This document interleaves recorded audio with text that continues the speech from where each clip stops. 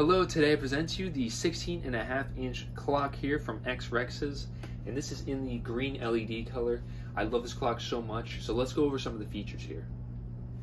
So obviously we have the standard time here. You can switch it between 12 and 24 hours using the buttons over here. These are the settings buttons basically.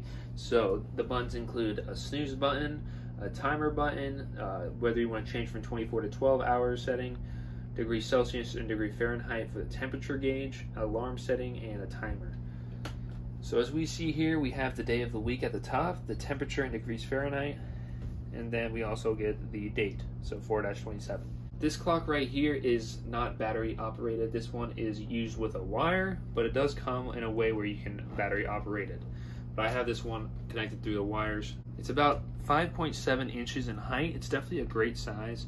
And if you want to hang it up, it has these two mounts right here on both sides. So basically put either two screws in the wall or two thumbtacks in the wall, and you can hang it up that way. You also get the remote here that you can use. So if you're like sitting down, basically you don't want to get up and look at the settings on the back of the clock, you can use this remote right here. So you get the on off setting, volume, all the timers, stopwatch, everything like that. So that's very useful. Overall, this clock is absolutely amazing. I would definitely go ahead and check out XREXS clocks here. Again, this is a 16 and a half inch long clock and 5.7 inches in height. So definitely go ahead and check out XREXS clock if you're interested. Thanks for watching.